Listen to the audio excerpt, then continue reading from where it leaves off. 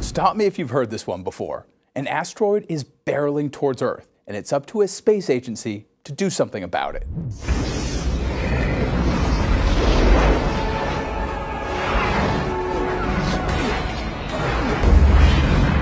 While it might sound like the plot of Armageddon, there is a real mission in the works to protect Earth from potentially killer asteroids in the future. Let me explain.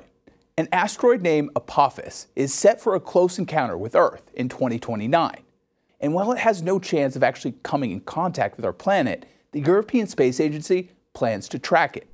The project, dubbed Ramses, plans to have an unmanned spacecraft rendezvous with the asteroid two months before it flies near Earth. The asteroid is about as wide as the Empire State Building is tall and will be about 20,000 miles away at its closest point to Earth. Scientists say an object this large only floats this close to Earth once every 7,500 years. So, in an effort to study it, a small vehicle would be deployed onto the surface of the massive space rock.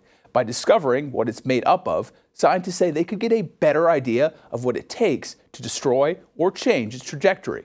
That's especially important when you consider an asteroid on a collision course for Earth.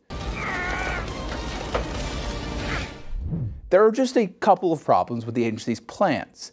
They haven't secured funding, and the clock is ticking to build the spacecraft with a tentative launch date of April 2028. NASA also plans to study Apophis, but only after it passes by Earth.